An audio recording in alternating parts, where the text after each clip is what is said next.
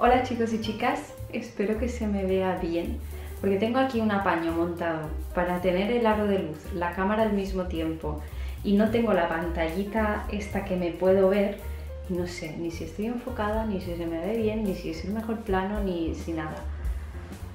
Recemos. Entonces ya lo habréis intuido por el título del vídeo, ¿vale?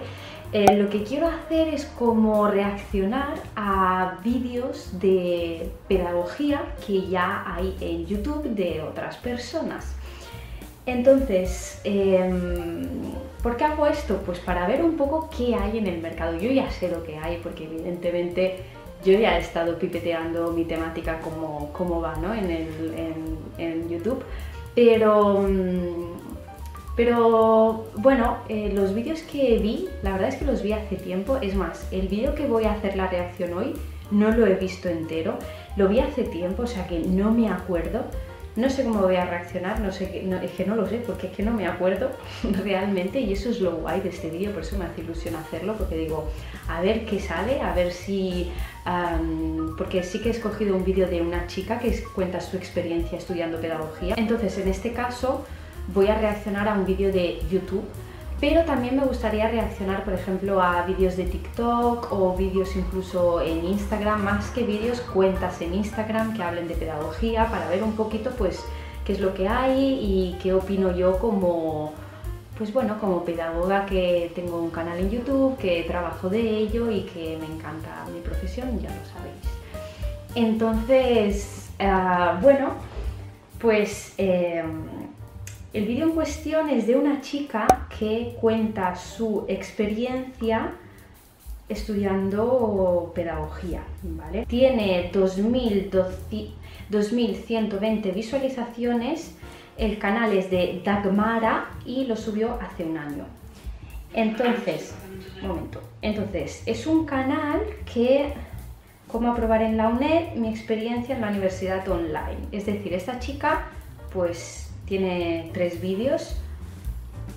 Eh, blog, viajes y lo que surja. Eso es lo que pone en su canal. Esta es una manera también dentro de lo que dentro de mis posibilidades y dentro de o sea, teniendo en cuenta de que no tengo una comunidad enorme, pero de hacer conocer también otras cuentas, ya sea de YouTube, de Instagram, de TikTok, que sean de pedagogía, es mi manera también un poco de difundir y de divulgar más bien nuestra profesión. Entonces, nada, ¿qué hacemos? Empezamos, ¿no? Yo ya, yo ya opto por un, por un profesor de repaso. Hola, bienvenidos a mi canal. Yo soy Dagmara y hoy os vengo a hablar por qué empecé pedagogía. Empezamos. Eh, ¿Por qué empecé pedagogía? Eh, ¿Y por qué lo hice en la UNED?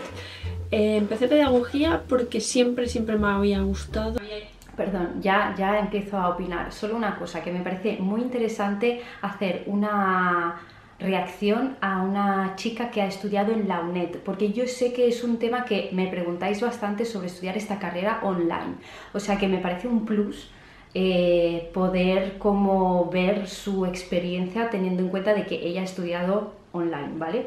Porque yo la he estudiado presencial y vamos a ver pues, qué opina ella. Hoy me había llamado el mundo de la educación. Ya cuando empecé a hacer mi trabajo final de bachillerato, no sé cómo se llama ahora, al trabajo de recerca, no sé cómo se dice en castellano. ¡Ay, el trabajo de recerca! Me encanta, me encanta no porque me gusta el trabajo de recerca, sino porque esta chica es de Cataluña, muy bien, o sea, muy guay, más que nada porque yo también he estudiado en Barcelona, o sea que guay. Trabajo trabajo de cerca, ¿no? No sé, no, sé, no sé.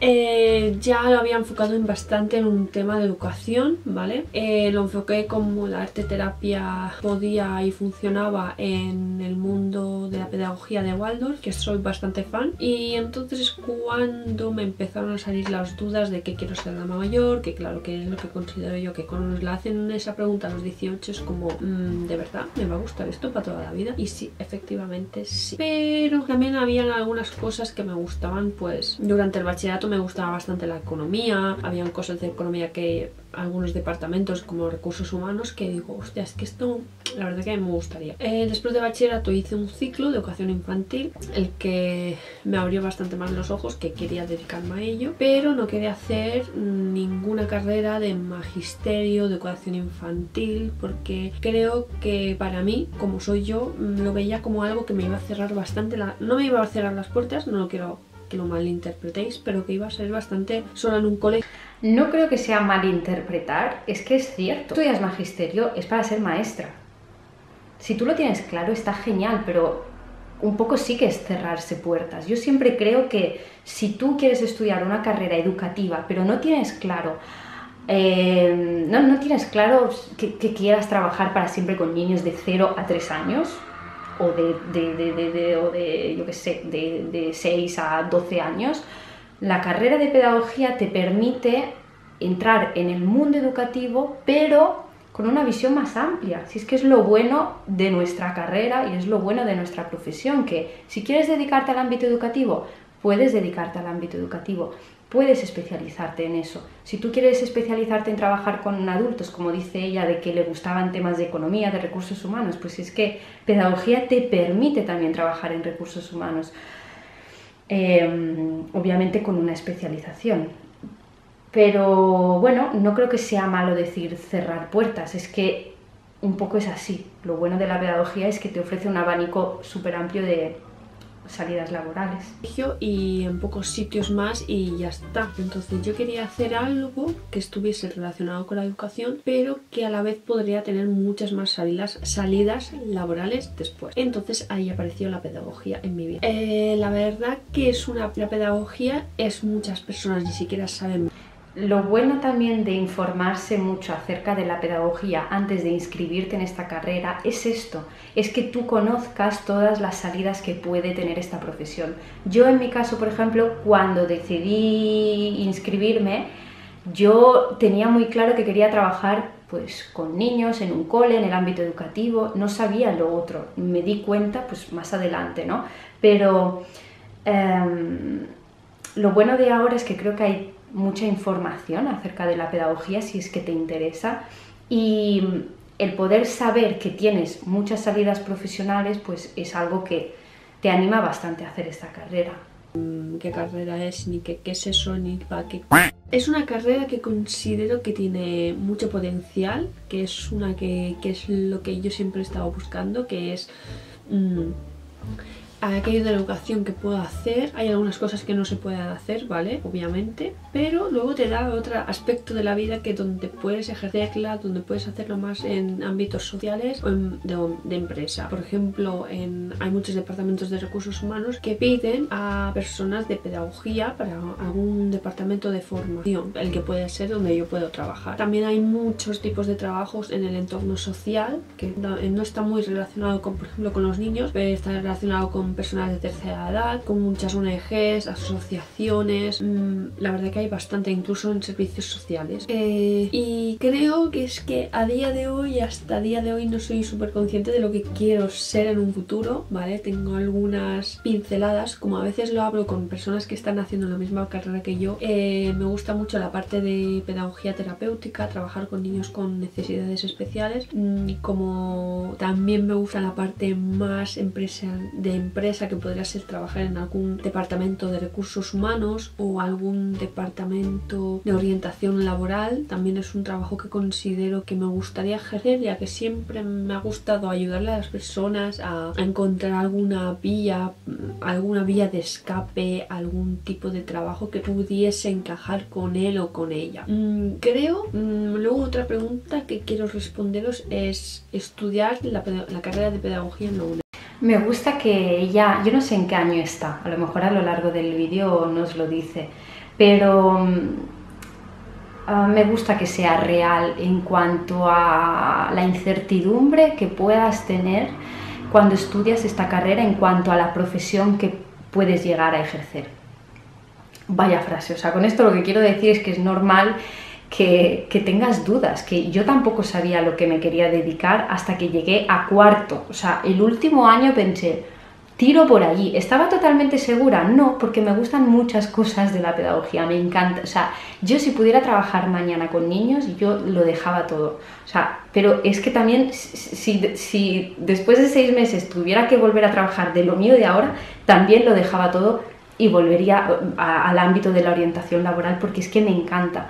Pero es normal tener dudas, porque igual que es positivo que puedas tener tantas salidas laborales, en, ese sentido está guay, pero también el tener tantas posibilidades dices, pero ¿y qué hago? De todas estas, ¿qué puedo hacer? En cambio, si estudias magisterio, pues poca duda vas a tener, sabes que mm, muy probablemente tu profesión va a ser maestra o maestro.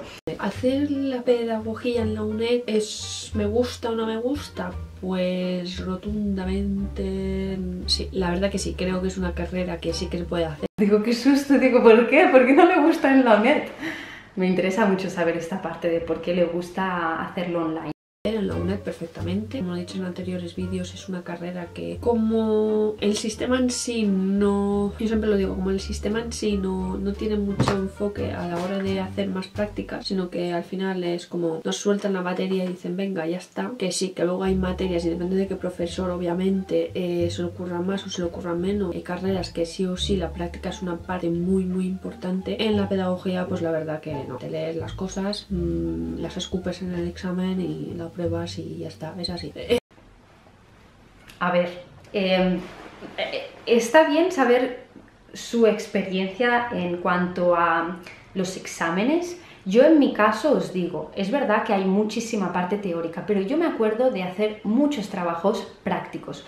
¿Trabajos prácticos qué es? Pues que tú tengas que salir de la universidad y buscar realidades de los pedagogos y las pedagogas que están ejerciendo. Eso es un trabajo, pues sí, que tienes que redactar, pero realmente no es un trabajo donde tú tengas que ah, memorizar nada ni, ni, ni, ni bueno, ni vomitar y olvidarte, no, es algo que tú tienes que investigar, tienes que buscar, tienes que buscarte la vida y buscar información acerca de esta profesión. Entonces, no hay una parte práctica en el sentido de que no vas a ir a trabajar, no vas a entrar a ver la realidad en primera persona, pero sí que puedes pues, hacer entrevistas, conocer la realidad como observador observadora y esa información te permite conocer la realidad del, del pedagogo, de la pedagoga. Entonces, bueno, en mi caso, hacerlo presencial también me permitió hacer este tipo de trabajos, por lo que nos está contando ella en la UNED son más bien pues exámenes, vas allí, vomitas, o sea, vomitas en el sentido de vas allí, haces el examen, repites todo lo que has estudiado y ya está. Yo en mi caso, pues sí que hubieron exámenes así, pero la mayoría eran trabajos muy prácticos, la verdad. O sea, me duele decirlo, pero es que no, no, es, no hay más. O sea, hay muchas carreras más es así. O sea, mm, te lo lees, lo aprendes, lo escupes, lo olvidas y ejerces. O sea, yo creo que, mira, me, han salido cinco, cinco, cosas así. Es como que estoy aquí haciendo una terapia con, con, mi cámara tú a tú y luego quien lo vea también estamos aquí haciendo una doble terapia. Bueno, es igual. O sea, en definitiva, la creo que la UNED... Mm, es que esto ya me da para otro vídeo para hablar de la UNED. O sea, es que... Haz otro vídeo hablando de la UNED. Creo que uno, el tercero es ese. Me gustaría verlo también y opinar sobre él no sé si a veces estoy a favor de esta universidad o no. Es que hay muchas cosas que cambiaría. O sea, yo creo que no es cambiar la UNED, es cambiar el sistema. Pero bueno. Y básicamente sí. O sea, si queréis hacer la carrera de pedagogía en la UNED, pues sí, tirar. Pero también tenéis que saber mucho el sistema de cómo es la evaluación y de cómo presenta la UNED mm, sus carreras. O sea, no es... Yo siempre hablo de, que el sistema de evaluación no, muy, no está es que el sistema de evaluación realmente está muy bien que ella toque este tema y me parece muy inteligente que ella os recomiende mirar el sistema de evaluación cuando os vayáis a apuntar en una carrera, ¿vale? Porque dice mucho de cómo os van a impartir la asignatura. Si tú lo que tienes que hacer, si la evaluación es 100% eh, la nota de un examen final, sabes que vas a tener que empollar que vas a tener que leerte y aprenderte muchas cosas de memoria, evidentemente, o con tu método de estudio, pero que va a ser algo muy poco práctico. Yo en mi caso me acuerdo de que habían muchas maneras de llegar a tu nota final. Era, por ejemplo, el 40... Me acuerdo así por encima porque estuve ojeando apuntes justamente el otro día en el trabajo eh, era, por ejemplo, el 40% el examen final. Luego eh, había veces que era como 40 y 60. El 60% eran pues trabajos prácticos que hacíamos en clase y el 40% pues eso, el examen final. Entonces, realmente si tú durante todo el año hacías los las, mm, las, prácticas bien, prácticas no, no me refiero a prácticas, prácticas pues escritas en clase, trabajos de grupo, trabajos que tenías que entregar. Si hacías eso, pues eso era el 60% de la nota, ¿no? Entonces, realmente cuando llegabas al final, si habías hecho todos los trabajos, si habías estudiado durante todo el año, el examen lo aprobabas. Y la verdad es que era un sistema de evaluación bastante bueno. Ahora que lo pienso, digo, a mí me iba bastante bien. Y luego, que, sea para todos aquellas y aquellos que tengáis dudas a la hora de realizar la carrera de pedagogía, yo al final os recomiendo que... Perdón, pero ¿soy yo o no dice bien pedagogía? Dice como pedagogía, perdón, ¿eh? No sé, me sabe mal. Voy a volver a escucharlo que, sea para todos aquellas y aquellos que tengáis dudas a la hora de realizar la carrera de pedagogía, yo al final os recomiendo. Ah, vale, vale, vale. Es que creo que es catalana y entonces en catalán es pedagogía, ¿vale? Entonces a lo mejor le sale pedagogía, pero porque está haciendo como un, un catalanismo. Sí, creo que es por eso, es por eso. En catalán es pedagogía no pasa nada, ¿eh? no lo digo como crítica, yo me equivoco un montón, que yo en mi cabeza tengo un lío con los idiomas que, voy a decir, pero no, no entendía porque decía pedagogía por eso, ya está, seguimos. Viendo que habléis con todas las universidades, aunque sean, aunque sean la misma carrera, pero que habléis con diferentes universidades y que cada, cada, cada, universidad os explique su plan de, de trabajo, de, de, lo que vais a hacer, que de lo que podáis ejercer, de las posibilidades, de las salidas que tengáis, porque por mucho que a día de hoy la, toda la información esté en, en online y al final se pueden buscar, al final yo creo que si habláis con un experto de esa facultad y de todo, incluso os puede dar muchas más ideas y a lo mejor os dice, oye, pero es que si tú, no sé, dices que si tú dices esto es que a lo mejor te va mejor hacer magisterio y no la carrera de pedagogía. En mi caso al final lo encontré yo sola, fue una carrera que la vi allí, vi, la nota de entrada y de todo y digo, y me empecé así a buscar y a saber eh, si me gustaba o no. Y no sé, no, no estoy, o sea, hay algunas materias eso ya, pero va a pasar en todas que no me gustan para nada y no le encuentro ni el sentido de la existencia. Sí, eso es cierto, hay muchas asignaturas que yo también pienso para Mm, ¿vale? Es como la estadística que, Ay, no, aquí no estoy de acuerdo. Aquí no estoy de acuerdo, pero no estoy de acuerdo. A mí estadística, a mí no me gustan las mates, empezamos por, la, por lo básico, pero a mí la asignatura de estadística, de investigación, yo las vi muy acertadas porque al final, es más, y más, o sea, momento que esto quiero, quiero aclararlo, nuestra, lo malo de nuestra profesión es que muchas veces la gente piensa, ah, bueno, sí, es que vosotros sacáis teorías, pero las teorías no, es ciencia, lo que decís pues se queda en palabras. La manera para demostrar que lo que nosotros decimos está fundamentado, pues es a través de mm, de demostrar que lo que estamos eh, diciendo es científico. Y cuando hablamos de algo científico, hablamos de algo que hemos podido medir, que hemos podido hacer un estudio, que hemos podido hacer un trabajo de investigación y hemos podido sacar estadísticas a partir de las cuales sacamos información y afirmamos teorías, ¿vale? Entonces, si no hubiera esta parte, lo nuestro se quedaría solo en palabras. Entonces, por eso es muy importante que desde la carrera se haga la asignatura de estadística. Es la única asignatura de mates que nos toca hacer en la universidad, en la carrera. Y creo que es súper necesaria. Porque cuando tú afirmas algo, gracias a la estadística, gracias a los números, gracias a hacer un trabajo, pues eso, de estadística, es la manera fiable que tú tienes de decir esto es así, no porque yo lo diga, sino porque esto está demostrado científicamente a través de estadísticas.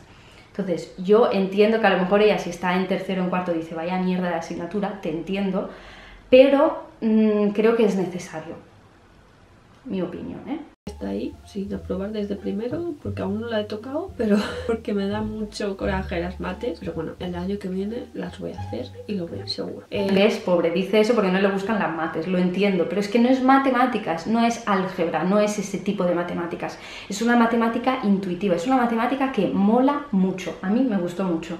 Eh, dejarme en la cajita de los comentarios a aquellos profesores y profesoras de matemáticas que si queréis darme clases yo ya estoy súper Yo ya, yo ya opto por un, por un profesor de repaso, porque sé que las estadísticas, es que sé que la estadística no es lo mío, es que no es lo mío, no, no, no, no, no, no. La he odiado, la he odiado en bachillerato y así que ahora probablemente... No, porque no es lo mismo cuando lo estudias en bachillerato con cosas que te cuentan en bachillerato de no sé qué, que tú puedas aplicar la estadística a la educación. Le vas a ver el sentido porque vas a ver que que es otro tipo de estadística. O sea, la estadística es estadística, está claro, pero está aplicado al mundo educativo.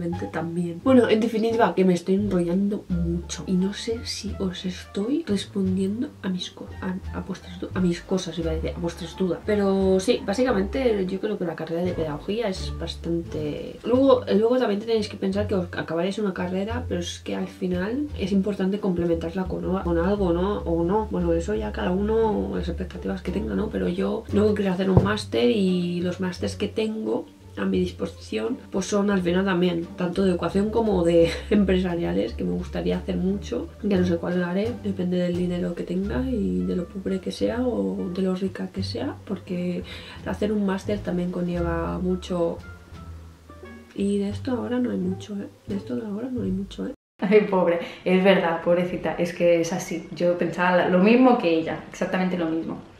Bueno, así que si tenéis alguna duda acerca de la carrera, primero contactar con todas las universidades, o sea, contra más información tengáis a día de hoy, mucho mejor y muy variada, porque a lo mejor este te la vende súper bien, pero luego tú te vas a otro y no te la vende tan bien, te dice algo y dices, ¿y esto por qué? Y luego tú vas investigando, investigando, así que lo que tenga que ver con las salidas profesionales, o sea, yo creo que es una carrera súper, súper, que tiene muchas salidas, ¿vale? Y que luego se pueden complementar con otros cursos y con otros másters, incluso con otras carreras que tengáis o ciclos. Pero sobre todo, primero, muchísima información. Y si la verdad que, que ya desde hace muchos tiempo que siempre habéis sabido que es esa vuestra carrera, pues tira para adelante.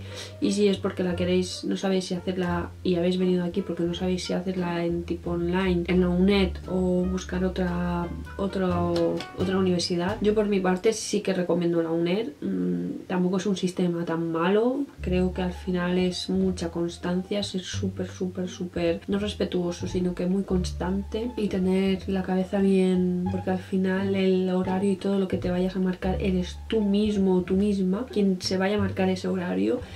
Y sobre todo eso, o sea, no sé, yo la verdad que os recomiendo mucho la universidad y la carrera. Bueno, yo aquí poco puedo opinar porque yo la he hecho presencial, entonces lo que ella diga. Si ella recomienda, pues bueno, creo que ha sido bastante sincera en cuanto a las cosas que como malas y buenas de este tipo de carrera, ah, o sea, de hacer esta carrera online. Eh, Así que bueno, yo creo que también depende mucho de tú en qué momento estés. Si sabes que estás trabajando jornada completa, pues a lo mejor hacer la carrera online te permite gestionarte de tal manera que puedas compaginar bien el trabajo con los estudios.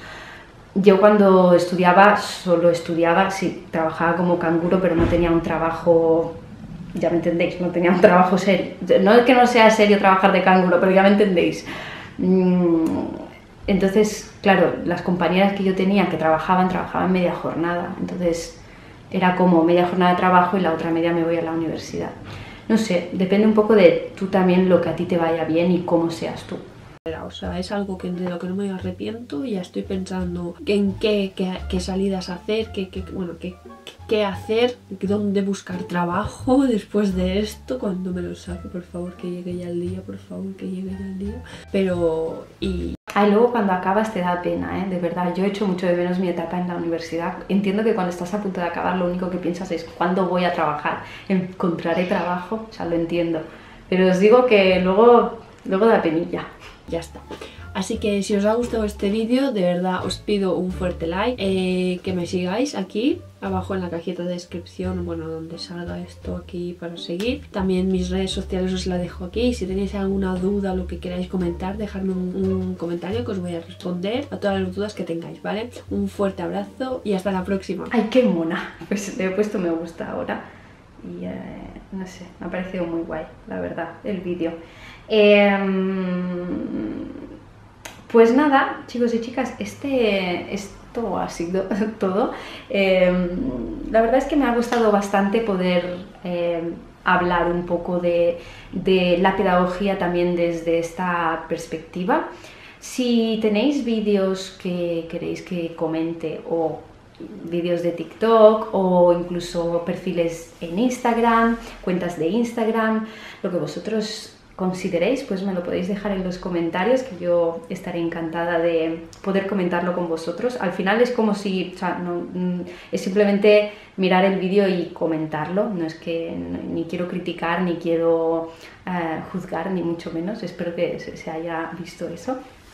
Y al revés, es una manera para eh, lo que os he dicho al principio, de difundir un poco más nuestra, nuestra profesión y otras personas que al igual que yo pues crean contenido eh, de, de nuestro trabajo. Así que poco más. Espero que os haya gustado y si es así, como siempre, por favor, dejadme un like para que yo lo pueda ver y nos vemos muy pronto en otro vídeo. ¡Chao!